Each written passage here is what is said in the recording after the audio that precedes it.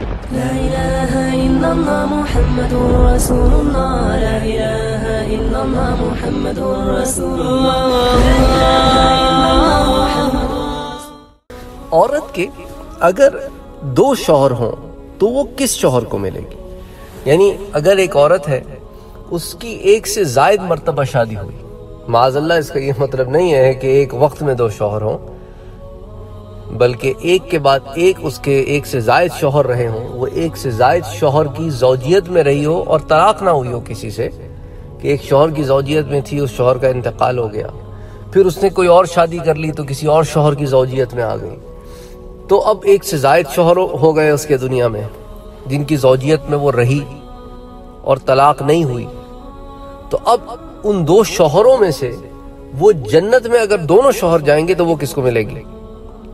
تو حضرت ام حبیبہ رضی اللہ تعالی عنہ فرماتی ہیں کہ رسول پاک صلی اللہ علیہ وآلہ وسلم سے پوچھا گیا کہ جس عورت کے دو شوہر ہوں اور وہ عورت انتقال کر جائے تو وہ دونوں شوہر بھی انتقال کر جائیں اور سب جنت میں داخل ہو جائیں، تو وہ عورت کس شوہر کو ملے گی؟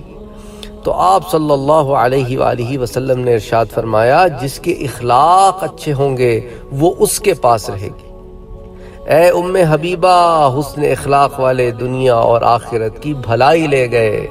اللہ اکبر۔ اللہ اکبر اللہ اکبر۔ اس روایت کو ترغیب میں روایت کیا گیا ہے، جلد نمبر تین، صفحہ نمبر چار سو دس۔ اسی طرح یہ مجمع میں بھی آتی ہے، جلد نمبر آٹھ، صفحہ نمبر چوبیس، اور اتحاف میں بھی آتی ہے، صفحہ نمبر چار سو تیئیس۔ تو اب آپ اس سے اندازہ کریں کہ ایون جنت میں جانے کے بعد بھی اچھے اخلاق رکھنے والے شخص کو زیادہ فضیلت ہوگی اس شخص پر جس کے اخلاق کم اچھے ہوں اچھا جو بات کی تھی نا میں نے پچھلے دروس میں کہ جنت میں اعلیٰ مراتب ملیں گے، تو جنت میں اعلیٰ مراتب سے مراد کیا ہے؟ کہ جنت میں جیسے جیسے درجے بڑھیں گے، تو وہاں انعامات بڑھتے چلے جائیں گے۔ آپ کی امینٹیز بڑھ جائیں گی، وہ چیزیں جو آپ کو ملتی ہیں نا، وہ آپ کو زیادہ ملیں گی، اچھی ملیں گی۔ اب مثال کے طور پر جنت میں کچھ لوگ ہوں گے جن کے باغات میں چاندی کا استعمال ہوگا اور بعضے لوگ ایسے ہوں گے جن کے باغات میں سونے کا استعمال ہوگا بعضے لوگ ہوں گے جن کے پاس چند نہریں ہوں گی جن بعضے لوگ ہوں گے جن کے پاس زیادہ نہریں ہوں گی بعضے لوگ ہوں گے جن کو کافور کی آمیزش بھی نصیب نہیں ہوگی اور بعض ایسے ہوں گے جن کو کافور کی آمیزش نصیب ہوگی اور بعض ایسے ہوں گے جن کو کافور کا چشمہ ہی مل جائے گا تو وہاں پر مراتب کے لحاظ سے چیزیں زیادہ کم ہوں گی۔ ان کی کوالٹی میں فرق آئے گا، ان کی فراوانی میں فرق آئے گا، زیادہ اور کمی میں فرق آئے گا۔ حوروں کی تعداد میں فرق آئے گا۔